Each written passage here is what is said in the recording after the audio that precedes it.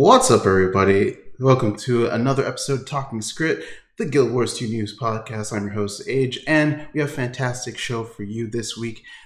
Uh, ArenaNet at San Diego Comic Con. The winds are changing as an old event returns. Meteor showers in. World will start hurting a little less next week, and much more. But first, let me introduce you to my fellow hosts. He streams Oh, he's a moderator over at MMO Champion and a host to Zero to and a host of Zero to Hero on this channel. With the Ele bugs getting fixed in World vs. World, we hope that the change up will be for the better. Say hello to Jim. uh, there will be no happy elementalists after this ever Uh, Well, but eh, everybody else will be happy this is true. maybe they make maybe they can use their tears for for water magic instead We can only hope. And he streams over on Twitch, and I hope all is well with him today. Say hello to Aaron.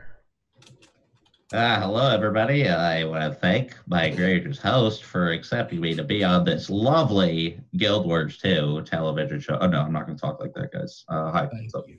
Ugh. Excited about the show. Did you catch the pun I, I put in? I I missed it. What was the I- fun? I hope all, all is well. Oh, age. No. Why did you, you should have slid in a shooshadoo pun, though. That would have been. That would've How been- do I fit in shoes? Never mind. I don't know. Listen, you got to figure it out. That's your job. you sh- should do follow him over on twitch.tv. Ugh. Oh god. and you can see his stuff over on Twitch and YouTube at MMO Inks. I forgot to pick him up by playing for PAX East, and he still won't let me forget it. He is our Never. Canadian bacon of Guild Wars 2. Say I will hello to Inks. never let you forget it. It's, it's one time, one time. All- I know, I know. That's all it takes. I, uh, I'm sorry. I'm sorry. They would Delta would not let me land. I'm sorry. Um.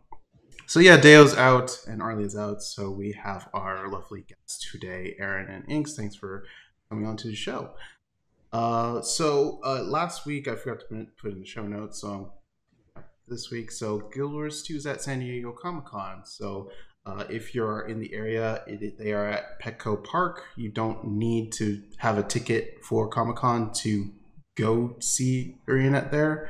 And the times are July 19th. Well, the dates are July 19th to 21st, which is you know today at 10 a.m. to 7 p.m. Pacific time. And they're also there tomorrow, July 22nd, 10 a.m. to 5 p.m. Pacific time. Uh, so they have the the Griffin that's back that was at PAX East. So and they have the same contest again. So you know, share your pictures on uh, Wars uh, on um, Twitter, Instagram using the hashtag Guild Wars 2 IRL and Guild Wars 2 giveaway. Um, that's GW2 giveaway, sorry. And you could uh, win an Amazon gift card. And this time, that's new is they also have a food vendor. So actually, I'll pull up some pictures while we're at it. So i am i am very disappointed that that wasn't at pax yeah, so uh, they offer a selection of Tyrian cuisine for purchase, but you know they just name the food after cuisine of Tyrion, so it's pretty cool. First of all, I have to say, and it's clear to me that there's a, at least a couple of like regular Guild Wars 2 Reddit type fans there because these were posted over on Reddit as well. How is it possible that somebody didn't order one of everything and do a food review?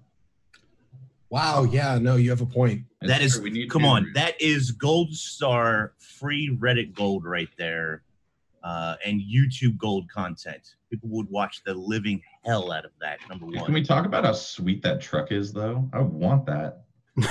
it is a good looking truck Dude, how has someone not stolen that truck? that's it's a it, that's a really good uh, it's just mean- it's the guild wars 2 art and the guild wars 2 concept art has always been good so Should put that truck up on the store. Someone would pay for it. other- also the other um, thing is i'm kind of surprised arenanet didn't do it themselves just make one of everything lay it out film because they've been doing video the whole weekend Wait, right? That's true. eh? How did they not get Jennifer Hale back for another? I Uh, was just thinking have Jennifer I- Hale like in the truck. It was like, yeah, now we're we're making this today. I'm I'm sure she's at SDCC. Like uh, she's got to be there. She could just can we just borrow you for a second? Cool, thanks. Yeah. Um, I'm- also, Deo level pun. The Choya's name is Gordon. G O U R D O N. Ah, Ah, yes. Yeah. oh boy. Yeah. Well played.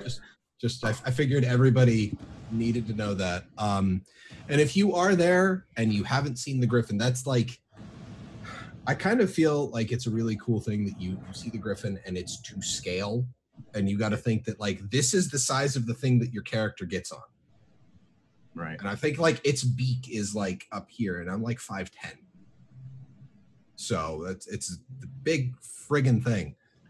Yeah, I'm a little sad that I wouldn't that I'm not going to be able to see this thing. I think by the time I get to a con, it's going to be retired or something. Although I'm sure it costs them a lot of money to make. Dude, I bet they'll bring it to every con. Like until they launch a new X Pack, they're they're gonna run. They're going Well- to use that thing. For sure. For Bring a different mount. Um, Maybe, maybe the roller beetle will be at PAX West, y'all.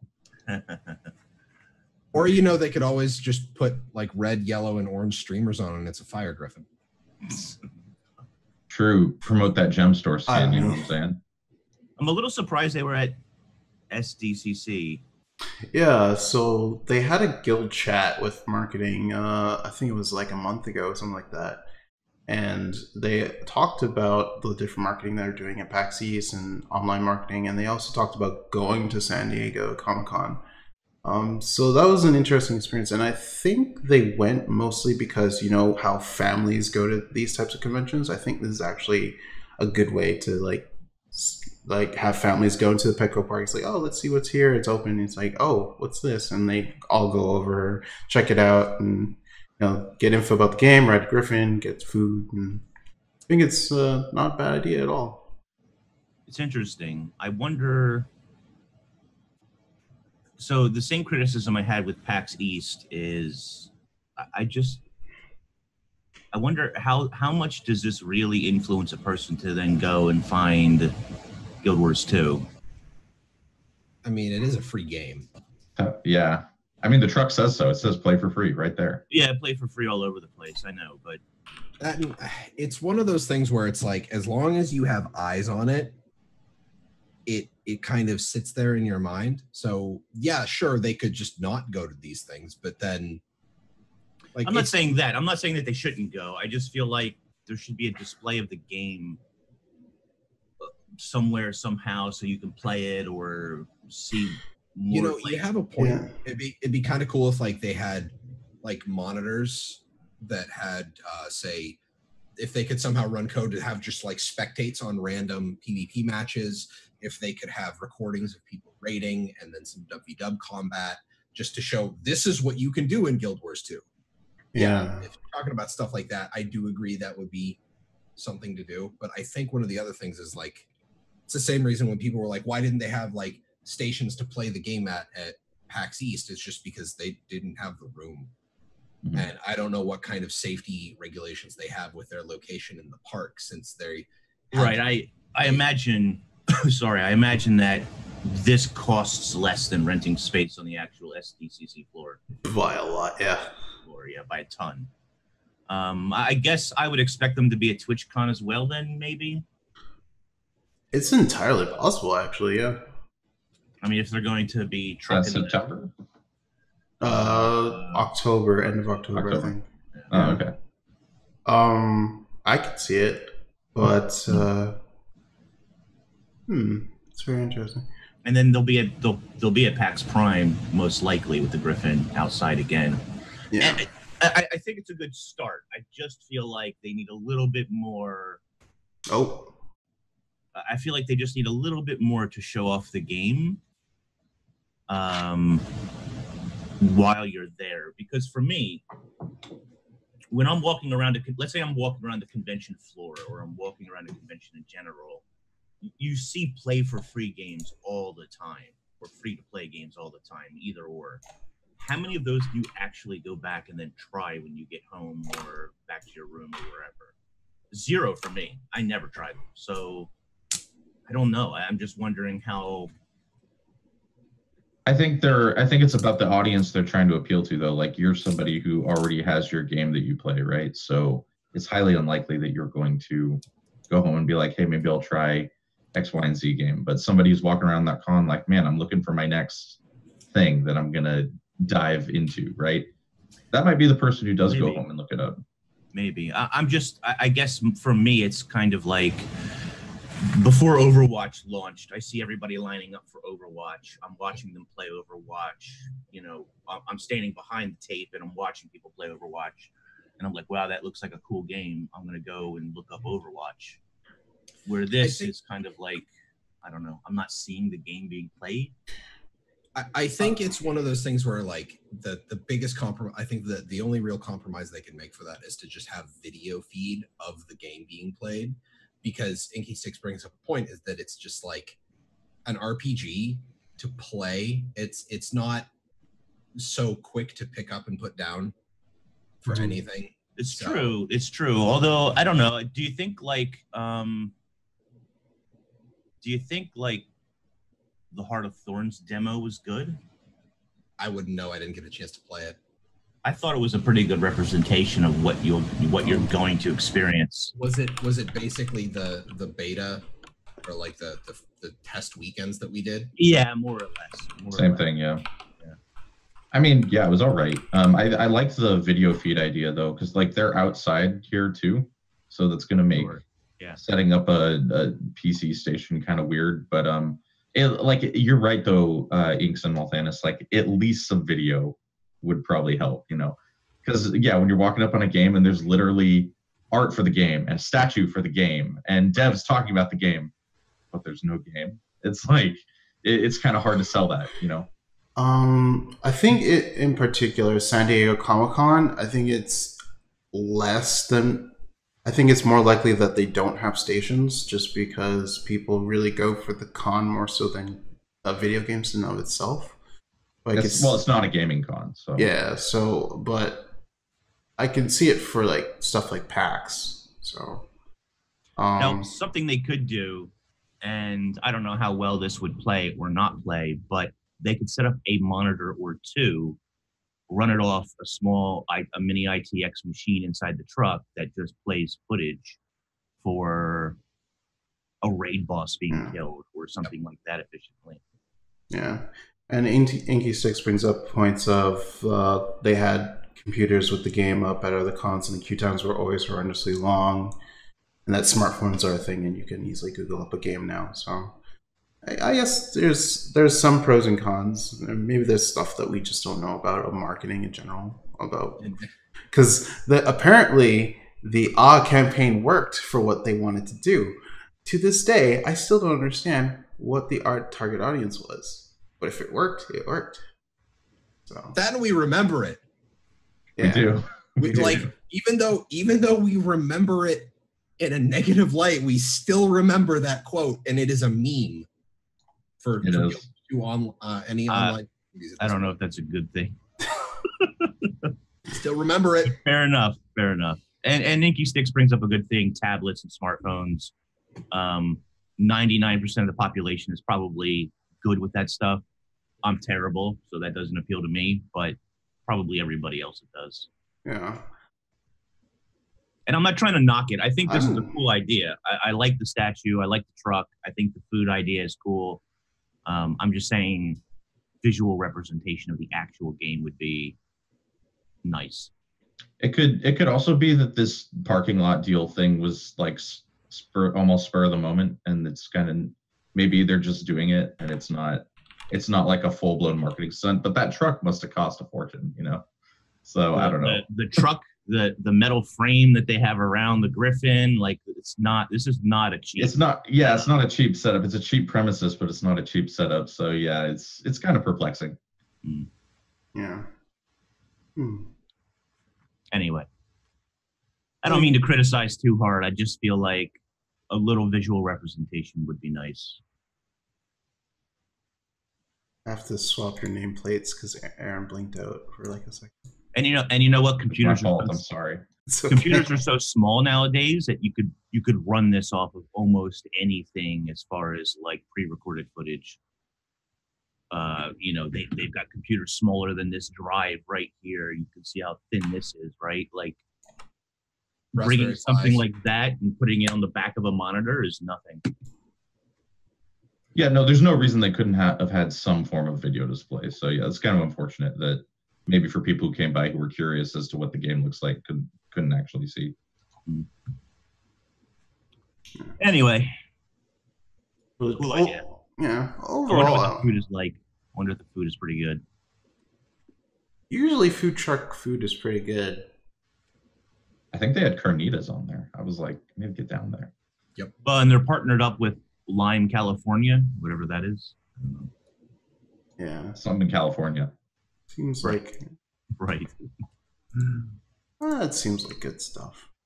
But um, also they had a, a, a mini guild chat at San Diego Comic Con. So you know, they talked about the Griffin, the giveaways, and of course a little bit about the upcoming patch, uh, which is Festival of the Four Winds, which, if you haven't heard, is coming back next week.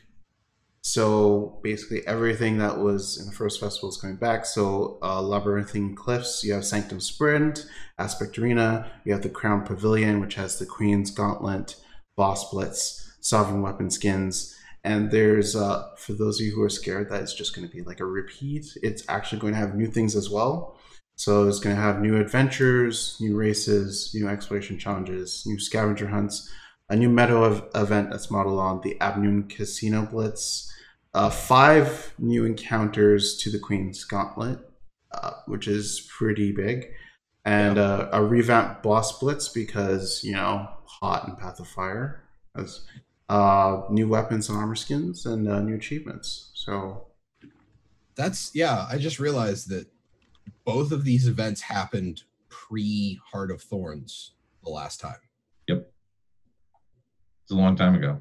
Yeah, It was longer than it seems. It was a longer time ago than it seems. And you're like, this is 2013 content, guys. and and Kate is right. New outfits for Ellen Kiel and Queen Jennah, which are probably going to be on the gem store whenever this patch drops. Right. Oh yeah. Oh yeah. But um, I'm really looking forward to this. Uh, I miss these events, and I kind of hope that this becomes like one of their rotate, like one of their their holiday events. Like this always comes back every summer. I think they said it's going into rotation. I, I want to say I read that somewhere. I'd- it'd be a great idea to be honest. This is something I've talked about a lot. To be honest, it's it's one of the things where in between the downtimes during Living Story or expansion time that they're working on it, they can pop one of these events in and just have people go at it for like a month or something like that. So I'm really really happy about it for that specific reason. Um, and I think uh, I know Malthanis missed it, but like, has everyone else done these before? I think Aaron said he hasn't. Yeah, done... I did. I did a. I get, did a decent chunk of it. I focused more on the boss blitz than on um the like the Queen's Gauntlet. But um, I still need to beat Liadri, guys. So I'm excited about getting another crack at her. And I did a lot of the Four Winds Festival and the Labyrinthine Cliffs and stuff. So I'm excited to get back there because that's to this day one of the coolest maps they've ever designed for the game. I've is been here for both of these events. I did the the Jubilee, like the re up of it. I still have a stack Oh, of half okay. entry tickets for the Queen's Gauntlet in my bank. Oh, I, do I, I have? blew all my tickets. So did they do the Jubilee twice? They did it twice. Yeah, two Jubilees. All right, because the Festival of the Four Winds has been done twice as well. The first one was 2013. The second one was 2014 with the Crown Pavilion the second time around. hmm Interesting. Uh, so yeah, I was there for both of those. I didn't. I wasn't even making Guild Wars 2 content then. Um, this was. I started making Guild Wars 2 content for my channel 2014, like May 2014, and this was like earlier in the year or something like that. I think. or Mhm. no, September. I started making content in September, and this stuff was like in May or August or something like that. Um, so I started making content right after the second one of these. So this should be interesting. It'll be the first time me actually covering it on the channel, on Twitch, and so forth. Um, we know that, uh, like Kit is saying, Matthew Medina is involved in the narrative, and there will be lore for the Zephyrites and what has happened to them, New lore. which should be interesting. Yeah. Alaska, I hope they keep the crystal finding. Like I hope all of the old stuff is in along with new stuff because I Well- really enjoyed all of that stuff. They, they did say that the cliffs are going to be sort of a playground for mounts. which should Yeah, make- there are mount updates. Um, yeah. And that there's also some events that are casino blitz style events. So that should be interesting.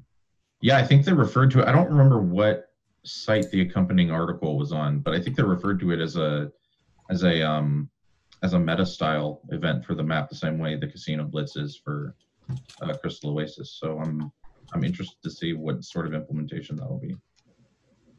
All right, so I want you guys to use your imagination about what the event could possibly be like, and I want you to pick one thing you're kind of excited for the most coming into this event.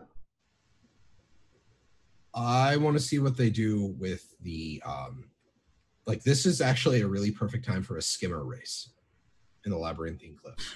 That's actually not a bad idea, to be honest. Um That's there's no. so much water there. hmm. All right, what about you, Inks? Uh, one one thing. Probably uh, probably the Griffin race, Oh, Griffin race. You want? Griffin adventure, Griffin race, whatever you want to call it. I think they call it a Griffin race, Griffin Mastery. or Whatever. yeah, whatever. I actually really love those, uh, despite how long it usually takes me to complete gold. Um, so while I'm really excited for the whole Crown Pavilion thing, the the Griffin adventure race, whatever, is what I'm most excited for. Hmm. Okay, and Aaron? I'm definitely looking for forward most to the Twitter tantrum that I throw about the new bosses in the Queen's Gauntlet. Guys, it's going to be an epic tirade, and um, I would encourage you not to miss it. But yeah, no, I'm excited about the new Queen's Gauntlet bosses, which is weird because I'm not much of a boss guy normally.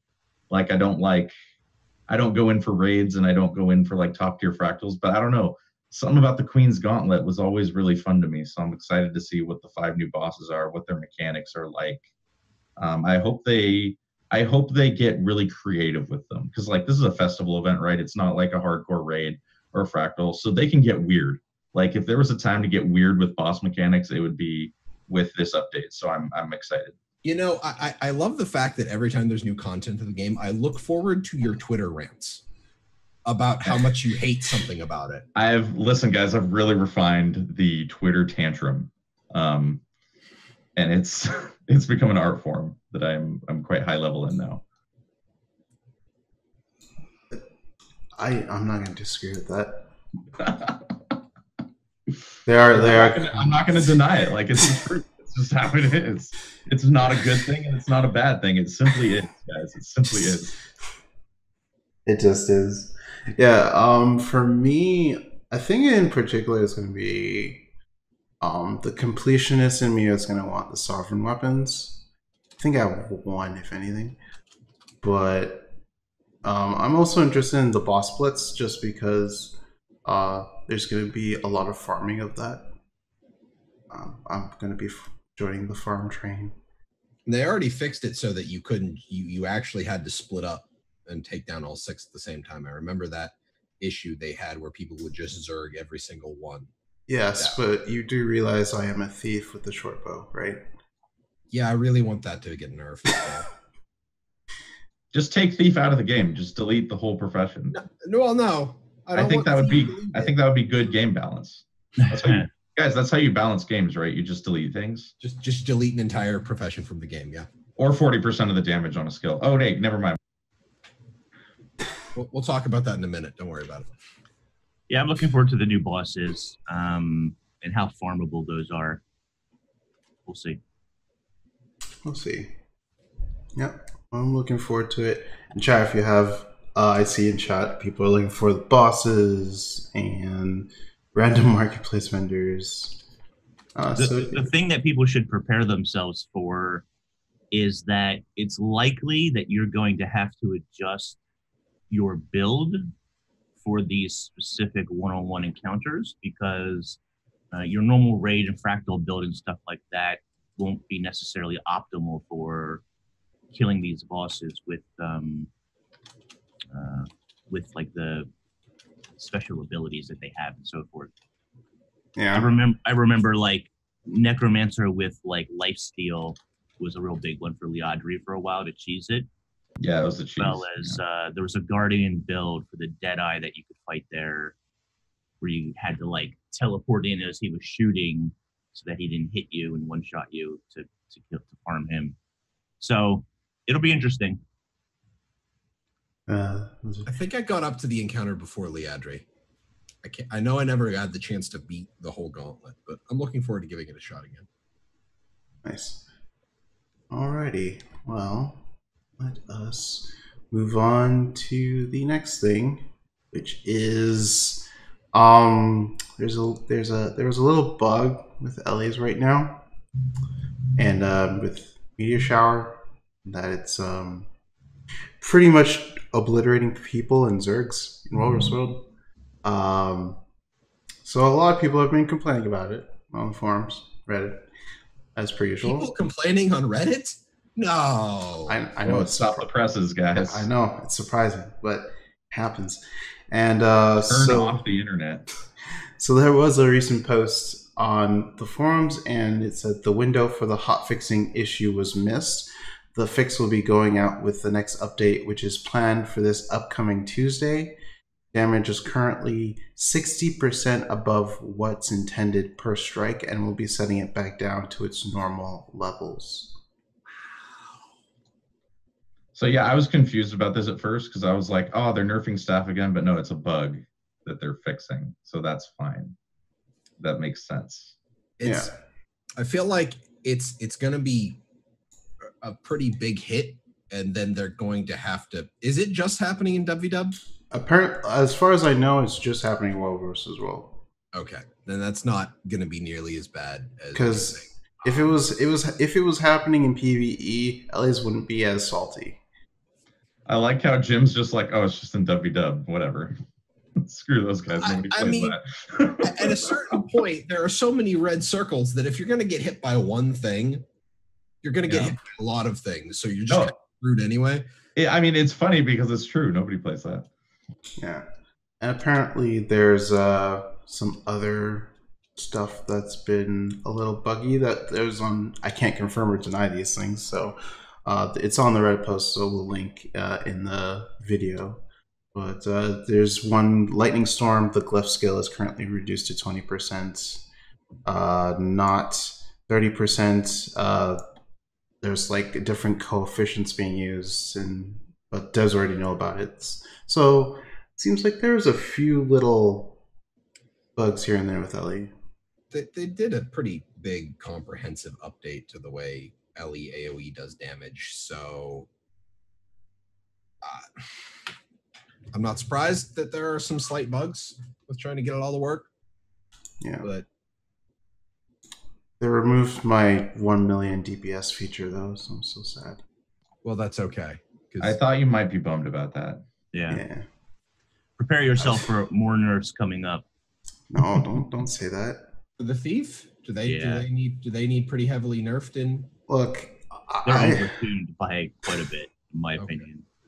For I, PvE, for PvE, I can speak on the other game modes. Imagine if they tuned a class to the point where people were just like, yeah, you know, that's fine. Like, imagine if they just nailed it one time. That'd be crazy. it's not like Guardian right now, to be honest. Is it? Oh, yeah, because base Guardian's powerful now, isn't it? Well, Guardian is in a pretty decent spot right now, I would say. hmm Yeah, true that. I didn't really hit it much last time. There's except, there's a number of classes that are in that 32k on the golem range, and I know that's not the only thing that you can measure a class on because um, it's not just about raids, it's not just about fractals or whatever. You know, it's, it's not how you just do balancing. But that being said, if you're looking at tweaking the numbers, uh, Deadeye, I believe it's Deadeye, is way and above single target wise. And and there is some consideration to be taken about single target damage over cleave damage, but single target wise, right now it's just take Deadeye. It's fine, Inks. Yeah, it's fine. It's It's fine. fine. Most It's fine. classes are doing about 32k ish. There's some classes and specs that need a bit of a bump. Uh, but Thief needs to Thief is like 38, where the others are like 32. So there's a bit of a discrepancy there. Like Ele's have been over 40k for years. I'm just saying, let me have this. Just like for six months at least. it, it may take that long. I mean, you know, these things aren't necessarily ironed out in a in a week. You know. Yeah. I will say though, I um there there is one thing that I was very surprised that they kind of kept, and is you have full malice stacks and you backstab, at least in um a PvP environment, you can hit anywhere between 8k and 23k, It's a depending on very your wide margin. It's very yeah, wide- so it, it, it depends on your stats. It depends on how much malice you have. I, So- I think that also might have something to do with the um because that gets a damage bonus from the rear of the target. Yeah, Well, it, it's backstab critical hit, so it's right. But I think backstab also gets like a bonus to damage if you're behind the target. mm, I don't remember. That could also be something with like wonky turning. I know Ranger does. Yeah, Thieves have a lot of flanking bonuses. but Marauder is like I hit 13k. I'm like Marauder gear. That's pretty funny. But anyway, it's hard to hit, so it's fine. It's Uh, fine. It's fine. Um. Wow, we're blazing through this show. I feel so bad. I think that though, what will probably happen is I think that Thief will get a little bit nerfed. Um, hopefully, minor, not devas- not devastatingly. So, I think Ele will probably get a little bit of a bump just because people complain so much about Ele. Wait, why would they get a bump? To be, to be fair, they're probably going to get a bump after they've got all of the Fallout information from the change to the multi-hitting AOE's, because they wanted to change how the AOE's function, so that's ne- it's going to hit Elementalist damage. So if they think Elementalist is underperforming after that's all done, they might get a small bump. So Well, and I think too that players in general are not happy with how they've changed the way Meteor Shower works. I, I see a lot of people calling for it just to be a meteor and not a shower, so that it's just one impact damage and not this overtime whatever. Because ArenaNet doesn't seem to be able to. I still think that staff in its entirety on Elementalist needs to be reworked, but that's me. So.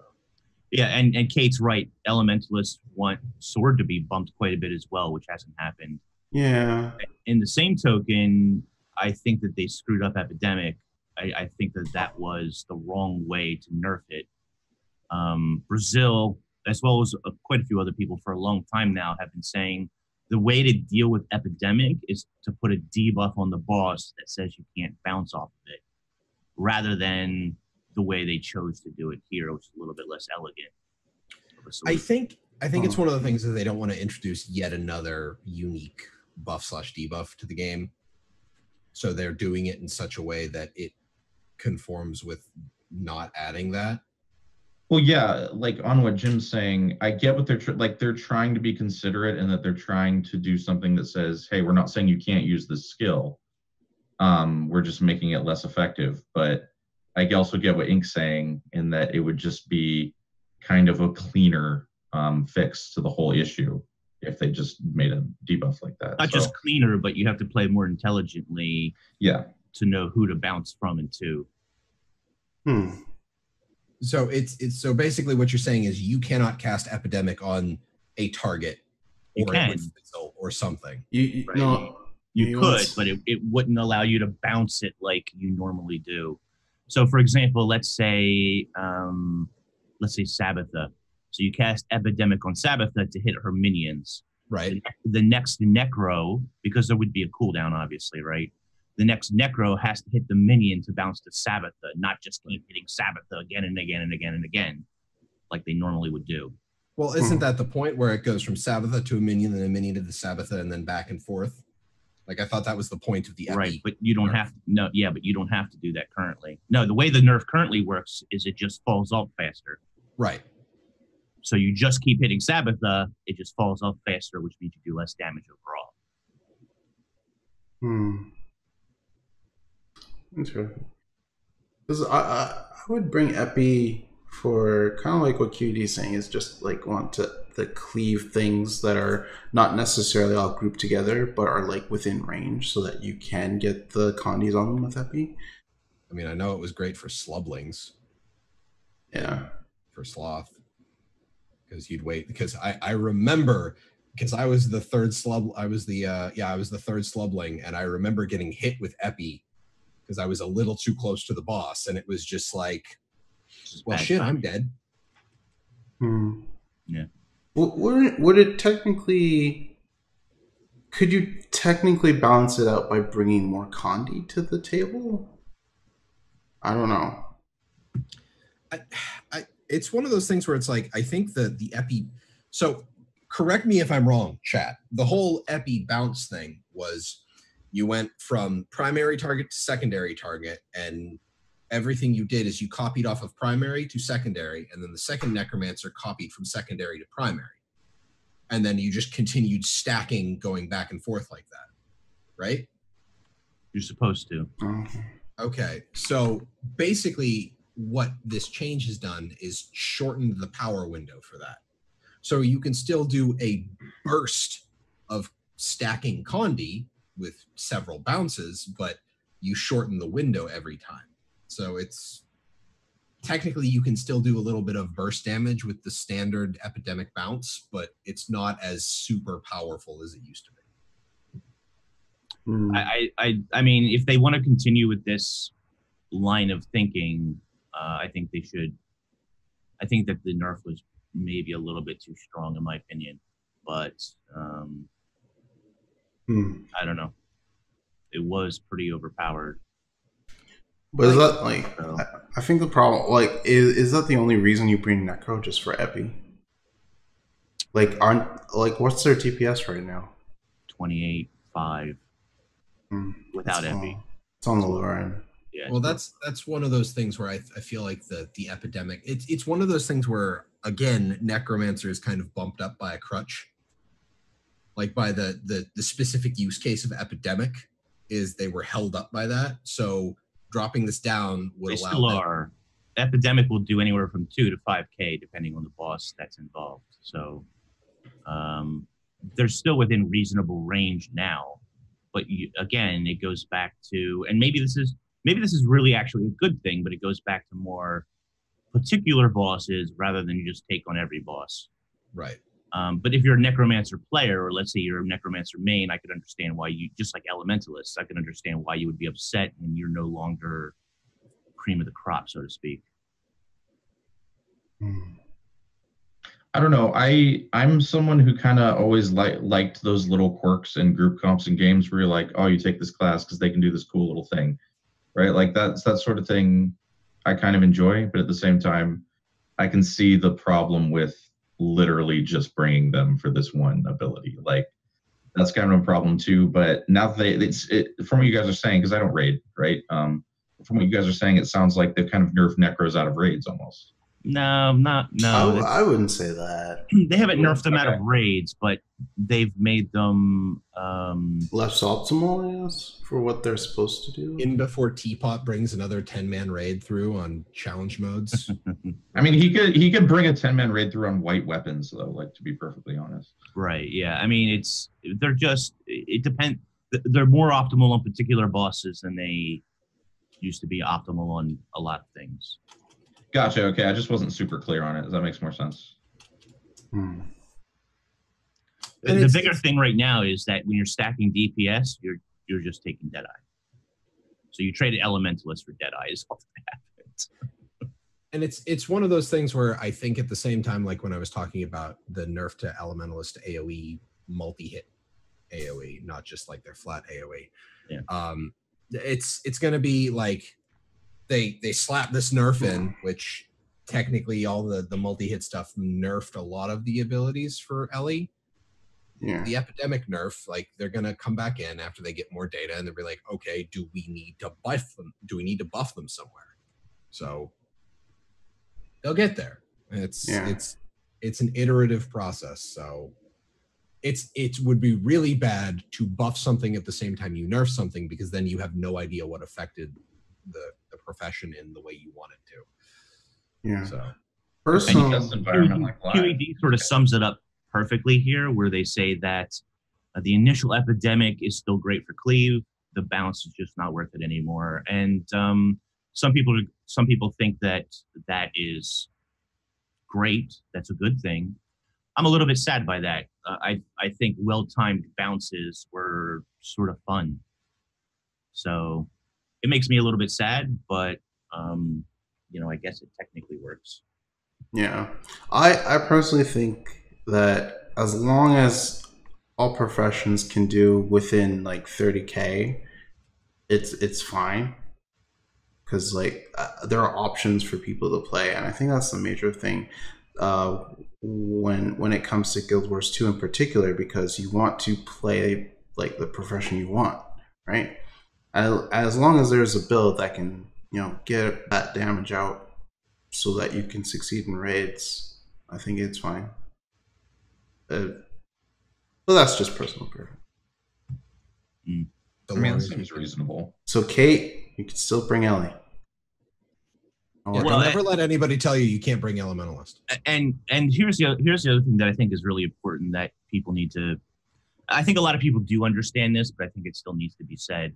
Is that a lot of times when you're talking about these discussions and you're talking about stacking Deadeye, for example, because it does the most damage, that's the most optimal optimal meta comp you can have. It doesn't mean it's your only choice. It doesn't mean that you won't be able to clear raids because that's ridiculous. They're they're very soft. Um, it just means that if you want to do the most damage, if you want to go the fastest, or whatever the case is, then this is the optimal meta composition. Uh, and unfortunately for pugs, they some of them tend to die by the sword, so to speak, and try to force that silly uh, expectation, which is never going to really last in a pug environment most of the time. But you know, somebody did say, uh, Mag did say that a lot more builds have become a lot more viable now, and that's true. The damage, the damage in the 32k realm, 31, 32k realm, is a lot more diverse right now than it has been even before, and was fairly diverse before. But um, speaking from an optimal perspective, you just traded Ele for Deadeye, basically, on not big big box encounters. yeah. Okay, cool. I mean, that doesn't sound like the end of the world.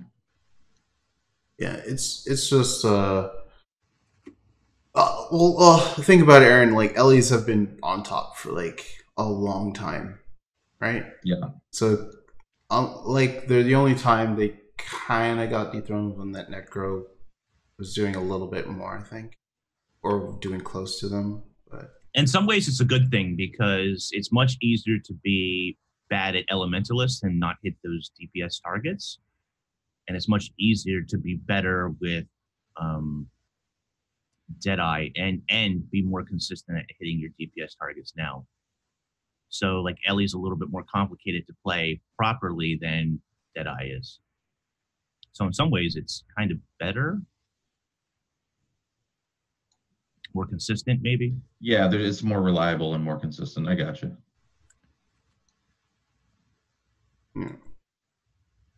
oh, any final thoughts before we move on? Well, just just another point is something that QED brought up is that that rewarding different specs with the same damage regardless of the skill required to play them. Yeah, I could see that because the Like, Deadeye When- rotation. whenever we talked about um Mesmer when they made the phantasm change, when people would just summon three phantasms and just hold just just let them sit there DPS. So that was like basically a brain dead a brain dead DPS build that you could just here is all of my damage. I really don't have to do anything. So when you've got that, and then you've got the traditionally high high mental capacity thing that you have to do to do Condi engineer. And you just have to play like all like you have to play DDR with your keyboard and you're just every which way with your keys. Um I mean, sure, some people enjoy playing that, but it kind of feels like at some point being able to sit there and just press one skill versus pressing all of the skills, there should be some kind of distinguishing factor there. Yeah, Hmm. like for example, uh, Condi Soul Beast is fairly easy to play. You, you use all your skills. There's a particular order to it. Don't get me wrong, but it's you know it's a lot less complicated than say engineer or elementalist. That being said, there are um, I don't know about Ele, but specifically for engineer, there are more simplistic rotations that trade a thousand or two thousand DPS for not having to worry about you know pressing a whole bunch of buttons or whatever the case is. That's the Aaron rotation. That's mine. Give me that Right, right. one. um, but yeah, there is a concern among in in the community, which I think is what Jim was getting to. There there is a concern in the community that playing the more complicated classes or doing the more complicated uh, rotations don't necessarily net you a higher DPS, which is what some people prefer. Oh, I can understand that. I think myself, I like easy rotation. I, I one of the reasons I loved Power uh, Herald was because I pressed like three buttons and that was it. What was that? That was just sit and hammer all the time and just just swing drain away. it out, you know. But yeah, like you had three weapon buttons that you would use, and the others were useless. But yeah, I, I don't know. you press two every now and then. Yeah, Um, I I understand uh where where people are coming from in that regard because you figure if you're working your butt off to per- perform the rotation properly, you should be rewarded with higher DPS. Um, I ca- I kind of see the pros and cons with it as well, just because you know this is Guild Wars where you know it caters more to uh like on the easier side, the casual side a little bit. So having that, reducing that barrier to entry is kind of good in terms of raids. But uh, I could also see that the people who like raid day and night, they want to, you know, perfect their their craft and their rotations, and they feel like. And I I, I do agree that you know higher DPS output should be rewarded for having to learn something very difficult but then I feel like it comes down to um, professions and how they work, and, and that's like a whole field of I don't know. So uh, I feel like at, at some point it's I don't know if this is ever going to be actually possible with balance, but I feel like every profession should have like that here is your easy DPS, here is your skill-based DPS and there should be a marked difference in the output, but your easy DPS is basically like if you don't die, this is the this is the spec you play if you're still trying to learn how to stay out of red circles. mhm. Like if you're still learning mechanics, this is a thing you can play, and then you can transition to this one where you play better. You have the muscle memory to avoid the mechanics, and then you can focus on your class mechanics and get better at that. And then your entire group benefits from it by getting faster because you do more damage. That's that's like the optimal kind of example of balance. And again, like I said, it's it's kind of a pipe dream kind of thing because there's always going to be shit that makes yeah. that a little wonky. what you, But Hmm. Yeah, very, do you, do you think skill splitting kind of would help in this? Not not necessarily just for like the easy hard rotation, but for rewarding harder rotations with better DPS. well, that's the thing is what do you skill split with? Yeah, Like, are we ta- are we talking like skill splitting from PvP and PV and WvW? Because like the only problem is PVE is raids and fractals and overworld. Yeah. An overworld, you can pretty much play whatever you want, right? Yeah. When it comes to fractals and raids, you kind of want to play, oh, depending on what your job is, right? So, Uh, and Magnus, that's technically 27 specializations because core. Yeah, it, it's. I did. it's I. I did have a question that somewhat relates to the whole skill splitting um, idea. Yeah. Um, we talked a lot about um, these effects on PVE, but did this balance patch have any significant effects on PvP? yes. Yeah. Uh, yes. Because I know, guys, I don't play PvP, so I like know nothing about that. So you play? Have you played Condi Necro? Not me, no. Okay, so they have like the the one thing that they are doing specifically is if you take Scourge, Doomfire, the Shroud skill one causes burning. If you take Scourge, it has a five second internal cooldown. Is that that's new? In Is that like a big deal? WvW. That's brand new with this balance patch. It's one second in PvE. It used to be. Ah, Okay, so that's a pretty hefty nerf then. Yeah, and that's just um the other one. Uh, it's a minor trait in corruption. I can't remember what it is, but if you take Scourge, it goes from corrupting two boons down to one. Path of corruption, I think it is. Ah, okay. Because yeah, scourges were. I mean, I know people can like people who do those game modes can fight. You know, you learn to to deal with what's coming at you. But like from my perspective, as a person who just gets bodied in those things, like scourges were a serious issue for me. So that's sort of heartening on my end. um, scourges were uh, scourges prove to continue to continue to be oppressive but all of the nerfs that they have received in pvp have made them bearable. Um i kind of always compare scourges to the way dead uh, dragon hunters were when their traps still dazed. Because you you literally would walk onto a point and the dragon hunter would just kind of rotate his traps. And it would just be like days half second days half second days half second days and then they were running rune of the trapper so if they wanted to leave they would just drop a trap stealth and super speed out and you wouldn't be able to do anything because you were dazed yeah. so So scourge is less stressful now for uh, player versus player combat. it's still strong it's Mhm. still good zone control Still you still have to what's that Still cancer. Well, I mean, their whole point is corrupting boons, so that's it's kind of like I They're gonna they're gonna drop red blinking AOE's all over the place, give you an aneurysm, and uh, you're gonna be loaded with conditions even after. actually literally described my experience with scourges. So that was Yeah. very well, accurate. it's it's one of those things where it's like your your best bet is if you are pure melee, you just walk around the scourge and you go take another point.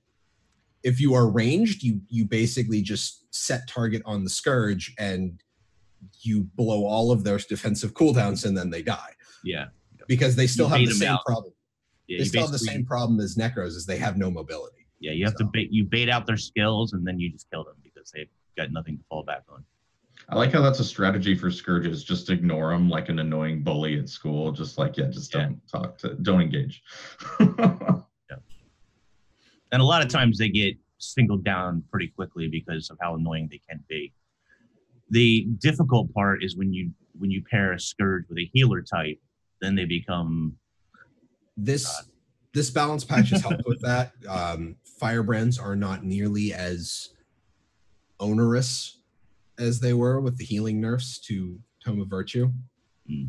Um, honestly, I, I often find that Tome of Courage is probably the, the worst offender just because it's like, here, have a free reflect whenever. Here, have a free stability. Here, have free resistance in a giant AoE. Their resistance AoE on Tome of Courage basically covers the, the whole point in Foefire, and that's like the double size capture point. Damn. So uh, it's it's great that they have all that supportive capability because it's kind of Guardian's thing, but at the same time, it's like when you were trying to fight a dragon hunter when traps dazed, it's like I can't get them off of the point because they have all of those blocks, so I can't fight them from off the point. I can't fight them on the point because I'll die. I mean, there there was a point in time when Heart of Thorns released, I walked onto a point with a firebrand, and they didn't like they didn't even move. Like their character didn't even rotate. They didn't acknowledge that I was there because That's the most insulting part. Yeah. because they didn't have to care about it. And yes, It's, that is it's, embar- it's embarrassing. Yeah, no, it happens to me it's- every time I enter WvW. So I, I think that the the tiny nerfs that they have been getting in PvP and WvW are good. Like it's good that it is a slow walk back. I no longer think that maybe Scourge and Firebrand are just bad for PvP, just via class design. well, Condi Mirage got a bit of a boop as well, right? Yeah. Um, Axes of Symmetry, yeah, basically Axe got dropped. Not as not as much as people would have liked, but it's not that bad. Uh, but then again, I'm playing Holosmith and I just have all of the AoE, so half the time their clones really can't do anything. that's that's really the count. That's always been the counter to playing against mesmers is just kill the clones before they can do anything with them. So Is uh is Condi Mirage still strong in PvE?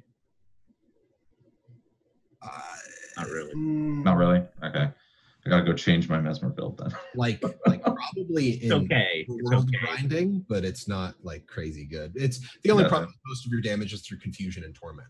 Yeah. Yeah, So you're always going to be better at PvP because of that. yeah. And then, like, I still laugh at dual pistol thieves. Oh my god, they wreck me. If they catch Well, you, now it's uh, uh, laughs in magnetic aura. Like that's that's been my entire thing. Is anytime I have a reflect, it's just like kill yourself, literally. Oh yeah, did, I actually did notice something. I don't know if this was in the most recent balance patch or like one of the more recent ones, but um, the tool belt skill on Elixir X for engineers no longer gives you a reflect wall, and that's a Yes. bummer. Uh, But it gives you quick. It gives you quickness. So It's it's an AOE stun break and quickness. yeah, so like I'll take it. But man, I liked that uh, reflect wall and that. That was screen. they took away all of the randomness from all of the elixirs, save for the elite one. Yeah, it was just a bummer because that I- was. you know what? I, I take it back. Uh, Mirage condition, no confusion is 32, so it's fine. Ah, gotcha. Okay, maybe I'll leave it then. I To, to be fair, you were going to leave it anyway because you're not going to gear another character. No, no, I'm not. Not at all. At least he's honest. Yeah, yeah, yeah. You just got to be honest about it sometimes, guys. I'm super lazy with builds. Yeah. Um, yeah, you're still rocking dual pistol on your on your Engi. So, Oh, all, all day, every day. but I, You want to know what's really sad is that uh, condition Shortbow Shortbow Soul Beast does pretty much the same as Shortbow Dagger Torch. I, I really I, I- I was kind of having a hard time every time. I, like, what is it? S what is this SB three that I keep seeing? Uh, What S- is short? Uh, well, Shortbow three probably. I don't know. because shortbow three on Ranger is the hop backwards. Because I I've played Uh, enough with my shortbow. I, I don't know what that. I don't know what that's in reference to, but you can run. I know people were talking about it in the chat, so it's chat. You can run dual like, short bows, and uh, it basically does the same amount of damage. yeah, no. Anytime you can run two of the same weapon, God, Uh, this is bad. no, get rid of that. Like that should not be a th- like because you're you share your because it's literally just playing for weapon swap sigils at that point, right? Yeah, no. And, and to be fair, like Kate is saying, it, Oh, double short bow has been um, oh short bow short bow soul beast. It's what okay, SB three that makes sense then. um that's you know sb3 has always been very very very close to the dagger torch version but it's it's literally only 1k difference right now and in a raid in a live raid scenario it's it's gonna not even be That's that like it won't even be that yeah That's interesting. Huh. But yeah ever since they've been nerfing bonfire it, it's been coming i guess Like yeah. honestly, I swear, I think sh- uh, Torch needs a rework then. Like, cause cause bonfire, it's a giant, long-lasting fire field. Yeah. Like everybody's gonna use it for Condi because burning does the most Condi damage. Sounds I mean- like it should be used for storytelling.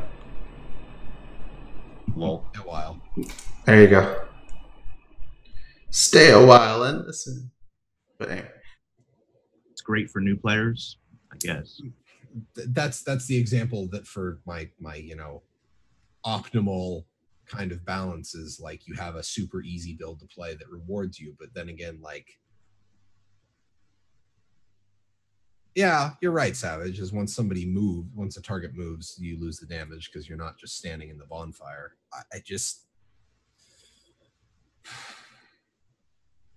yeah short bow short bow does not care. And then you also get a crap ton of i would hope that you take the short bow trait for that because you're running double short bow hmm.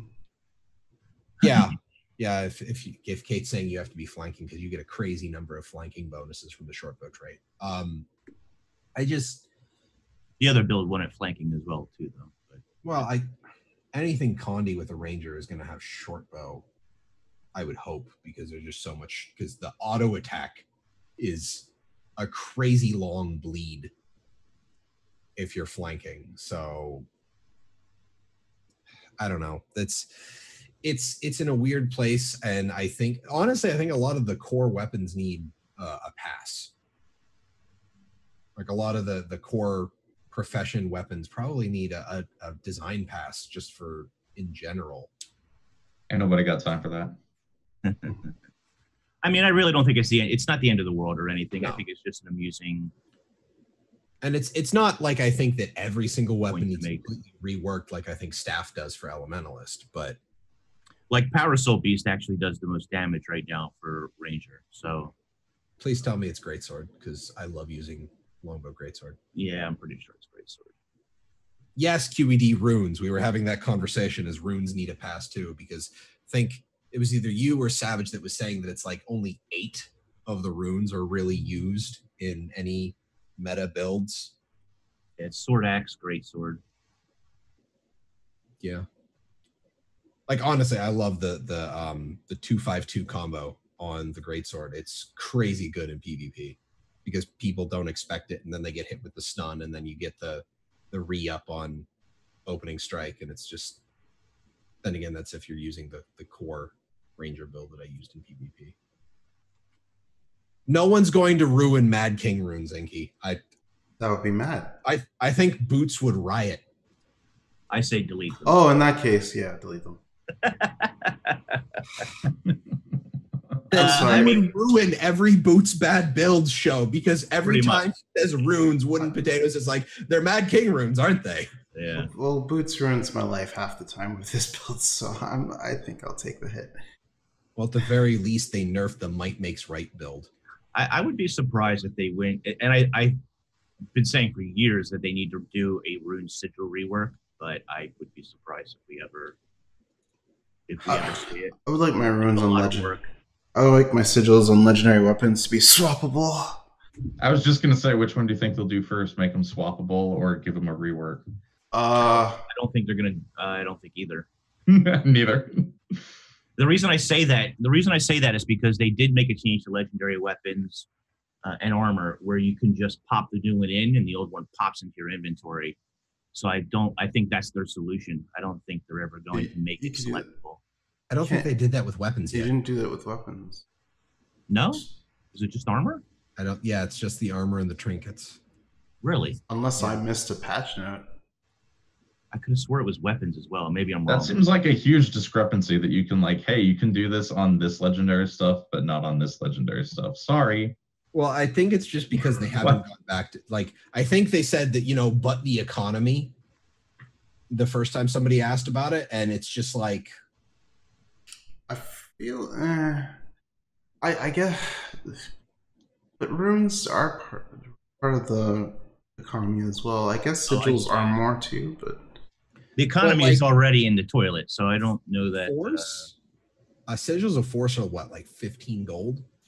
I thought they were like five. I thought they're five. They dropped again. Okay, the last time I tried to buy them, they were like between four and five. Yeah, because I think what's the most expensive? Like concentration, I guess.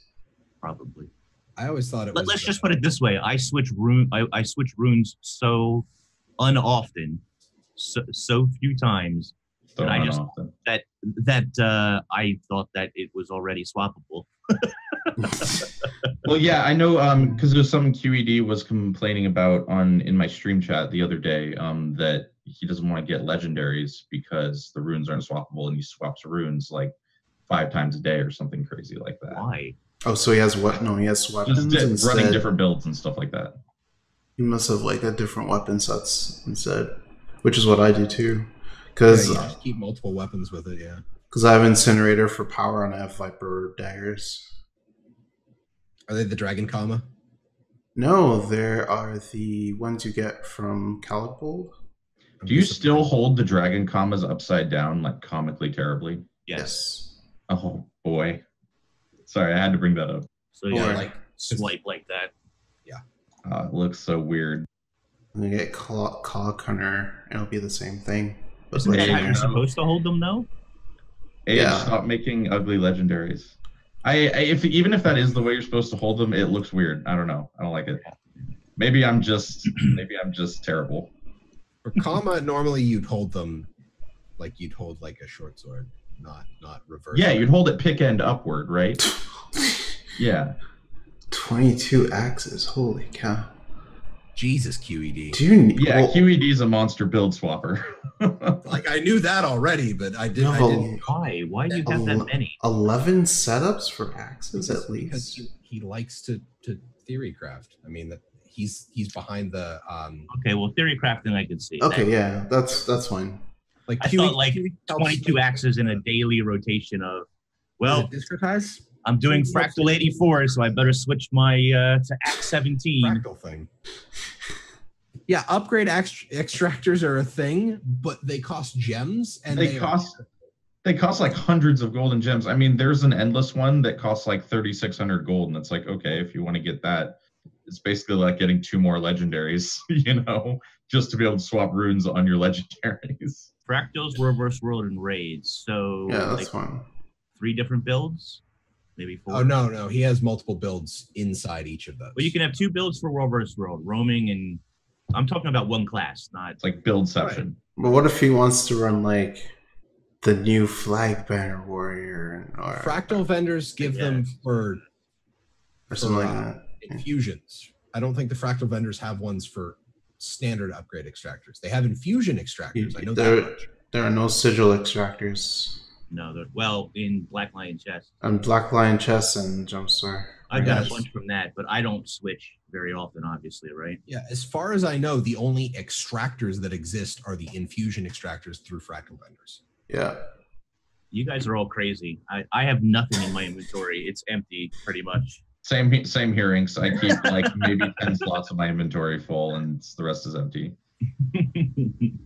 I have a lot of extra junk on my guardian, but that's just from like building the the runes, the druid runestone, and some other junk from other maps. Actually, one of the most Oh. common comments I get in my stream is, "Wow, your inventory is so empty," and I'm like, "Thank you." yeah, That's 'cause mine, you I need get that a lot room too. to- you need room to be able to sell stuff. I, I know Aaron farms a lot, so that's why he has all the room. Yeah, I gotta keep it Oh. clean, guys. Gotta keep it clean. Yeah. I, Uh, I don't know. For me, so I I have a s- I currently for my ranger, who is the one I play the most. I have my druid set that um I I could change it between fractals and raids to be a little bit, bit better in raids, but I don't because it really doesn't matter that much. mhm. Um, and I have a I have a full Condi set if I decided I wanted to play Condi. I could play SB3 where I could play Dagger Torch. I could play either one. Yeah. That sits in my bank because I don't really use it that often. I don't need to carry that with me necessarily. As far That's- as World vs. World and stuff, I have specific characters just for that game mode. Oh, I Oh, don't okay. Carry, I don't need to carry that other stuff, you know. But I started thinking about it a little more, and I think the reason Arena doesn't want to make legendary weapons have sigil swapping is because you would just have that one weapon, so you wouldn't have the need to make other weapons. You would need Delgemore or Spirit Wood or anything like that. I think that's what they meant by Connie. But the the difference is for le- legendary armor, it's super hard to get. Well, it's not super hard. It's super. Uh, you have I mean- to I work mean- really, really hard to get it. where- Yeah, it's a large time sink, right? Like, Yeah, versus What I- legendaries. Yeah, the question I would ask would be did they think, and I don't know how many, I don't know what percentage of the population has legendaries, right? But do they think that the, or from what they can see, is the population of the player base that has legendaries large enough to actually impact the economy in a visible negative way? For they weapons. did Sigil swapping, maybe maybe, yeah. for weapons. The other- Yeah, Gen 1s are easy to get. That's true. Gen 1s are real easy. The other thing you think about is that if you have swapping, rune sw- uh, sigil swapping on a legendary, you've got, say, you have like a warrior. I think that's the broadest number of weapons that can that can be wielded is a warrior. You have to get a legendary of every single type of weapon that a warrior can wield, and then you have to be able to buy all of the sigils that you want to swap in and out. So that's like the kind of investment that would be like getting legendary armor at the same point. Or you're going to get one legendary that you use the most often, and then you're going to swap out of that, but still you have to buy all those runes. And then you've got all of the other weapons that you use that you're probably going to make ascended for. And then Kate also brought up for the point that how often do you actually craft an ascended weapon anyway? There are so many other ways to get an ascended weapon. I Nowadays, mean, I I craft them a lot because I don't play. If if A you're a, if you're a straight up PVE player who does not do raids or fractals, it's probably But that's the thing is you have to not do raids or fractals. well, and I'll say this much too. Nowadays, um, And then Game nowadays I says- wouldn't I wouldn't craft because I do enough content that I can get it to drop. takes a long time still for me because I don't do full raid clears and so forth. But back probably when was Ascended brought in? Three years ago, four years ago. End actually end of 2013, I want to say. When when when ascended weapons first came out within that first year i probably crafted eight or nine uh, weapon sets for every character i had. So at some point i crafted you know i don't know how many weapons each character can use and that was just back when core was available not elite specializations but i crafted at least one ascended weapon for each of those because the drop rate back then wasn't quite as good as it is today it wasn't quite as easy to get either so at some that point you weren't luck capped. it's true. I wasn't luck capped. but um, you know, at some point, I think for a new player, they're bound to craft maybe one or two ascended weapons, but maybe not weapon. Maybe you know, I, armor maybe less, but probably for weapons, I would say some people. Oh, it's it's one of the number one new goals every new player has. Like one thing I like to do um, when I pl- while I play is watch new players' streams. Um, and I was kind of chat with them about what their goals are, and uh, most of them say, "Well, I want to get some ascended armor crafted." Um, so it's definitely something that new players shoot for. Now, some of those people are going to figure out that they can get it through fractals, you know, but I think a lot of them are going to craft it too. Yeah, I feel like until they figure out different methods of getting them and the methods that they like, like for example in chat they're saying Tequatl and triple trouble worm. right. Like until they actually discover those methods, they're probably going to craft them, which is a pretty decent majority of the population. And, and Well, I that- mean- that comes down to pretty harsh RNG, I think. Unless it's changed over the years, I've only ever seen two ascended drops from Triple Trouble and zero from Tequatl. Yeah, Then- and I. Oh, go ahead, Jim. Go ahead. but then you've also got to to offset that now is now you've got the heroes anthology where before if you wanted a different stat set on an ascended weapon you'd have to craft a new ascended weapon and now it's no you just craft the sigil of the stat set you want in the exotic quality and then you stat swap it yeah sure you lose the sigils but you don't have to spend the time farming up the It's super chill. Yeah. Yeah. Apparently, PvP is easy as well. Yeah, see, I haven't really looked Yeah. at PvP nowadays, but yeah. I have no idea how you get ascended gear in PvP. It's actually. the same way you do it in WW. You get tokens, and then you have to craft the um, Grandmaster crafting marks, and then you can buy it from a vendor. Oh, okay. The I only mean, Lose that, your way that to- cost a shitload of materials also? God, how Uh, terrible is that? Yeah. Uh, it costs the Grandmaster marks cost the half ascended quality stuff that is still like I, I really hate the fact that they introduced those recipes in the game because they're literally only used for the Grandmaster marks. Oh yeah, I remember listening to you rant about that on a different episode.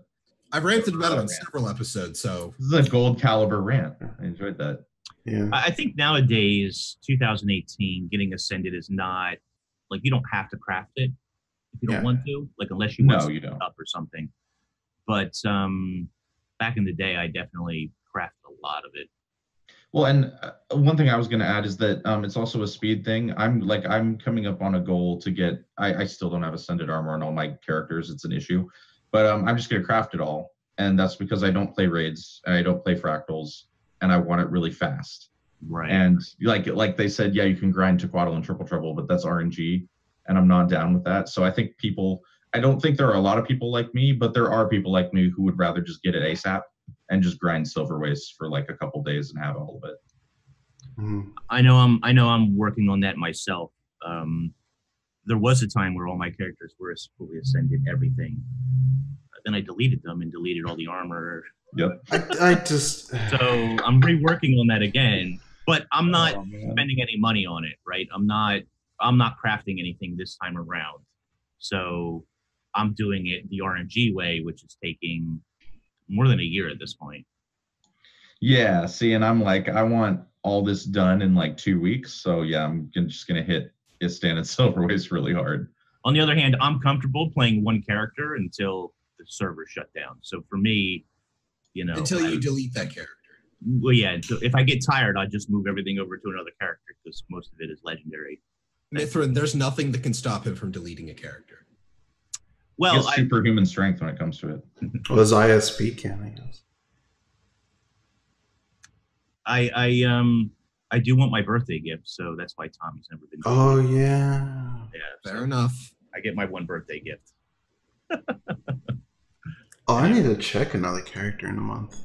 I mean, you don't have the meta eight characters created all on Head Start weekend launch day. No, I did. I Guys, did. get it, give it the But- program. You know, not anymore.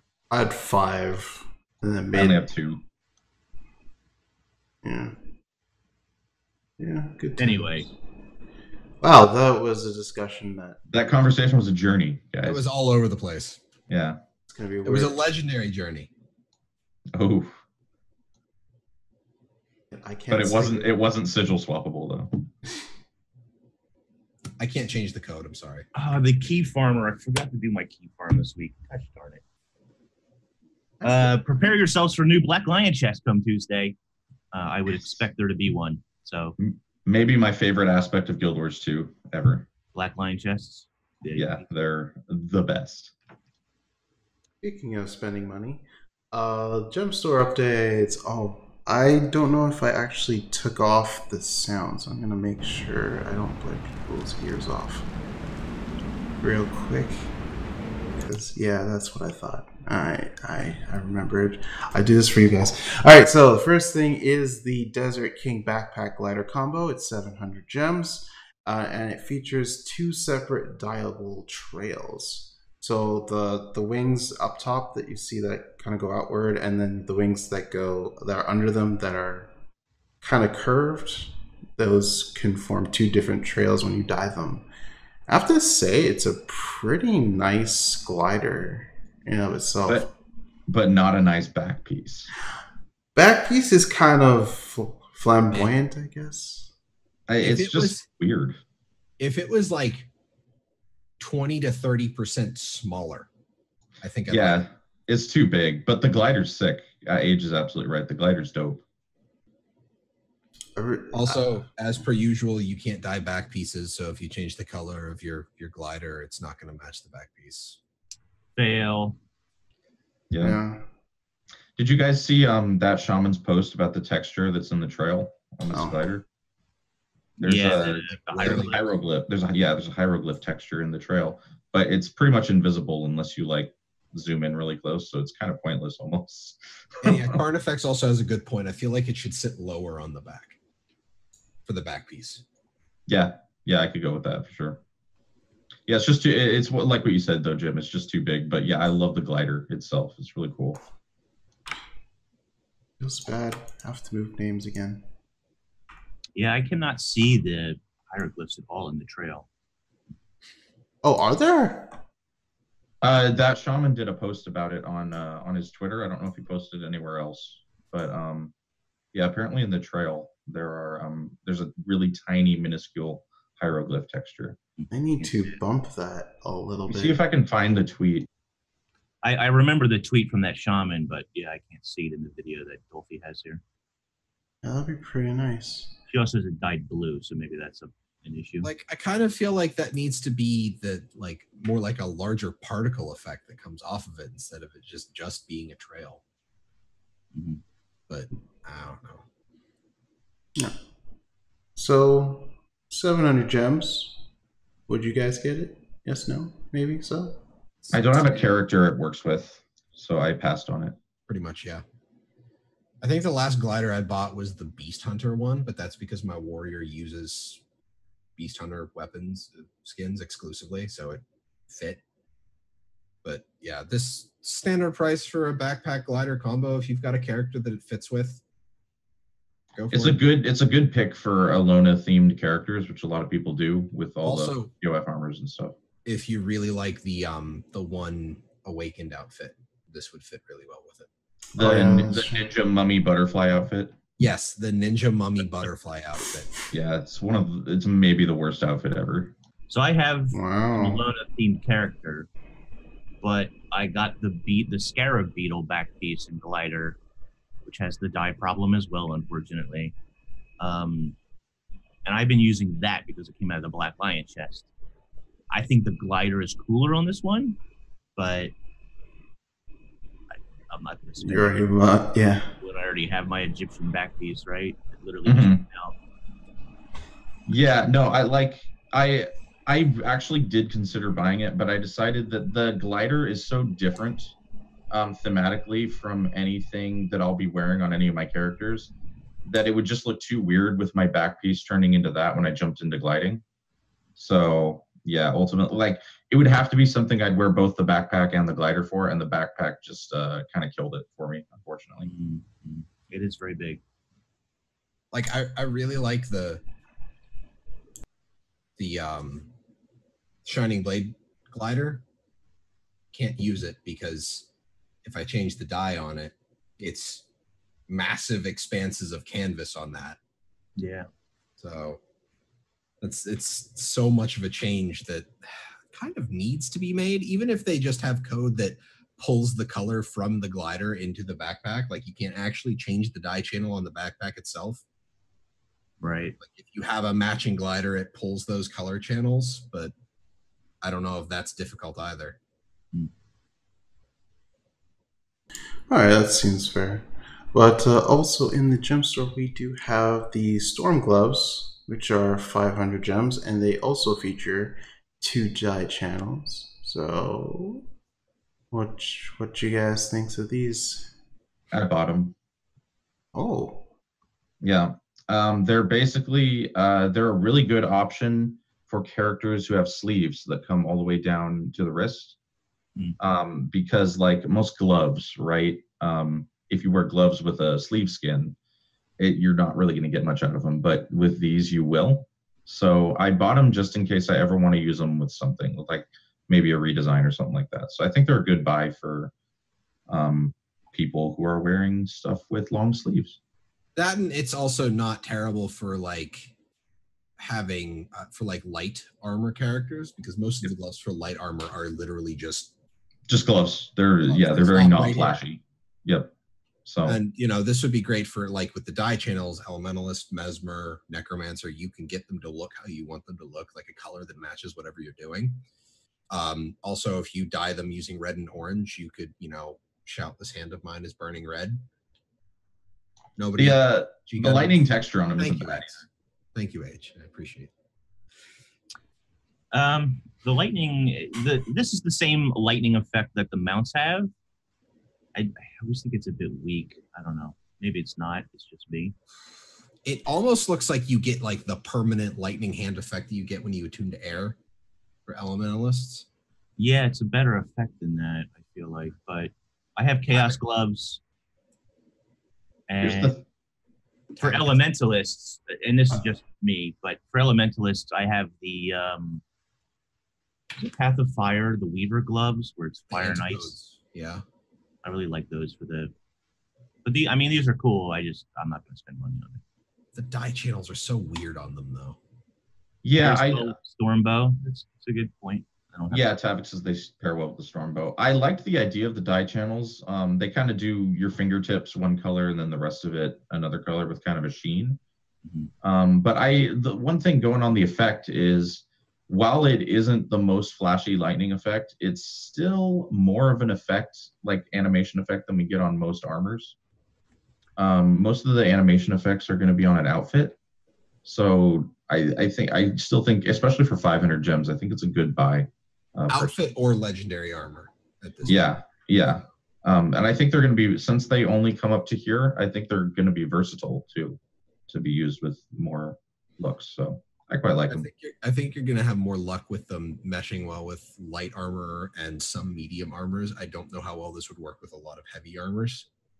Just because Yeah, heavy armors, the forearms are pretty much blank slates because heavy armor gloves are usually more like gauntlets that cover your whole forearm. Yeah. So yeah, it's it's definitely a it caters to the light armor crowd because there's lots of robes and stuff, you know. So yeah, I, I quite like it. I'm gonna keep it in my back pocket. So it's like a, a subtle, like a subtler chaos glove, shorter, subtler chaos gloves with Yep. the lightning effect. So it's it's not it's flashy, but not too flashy. It's like just the right amount.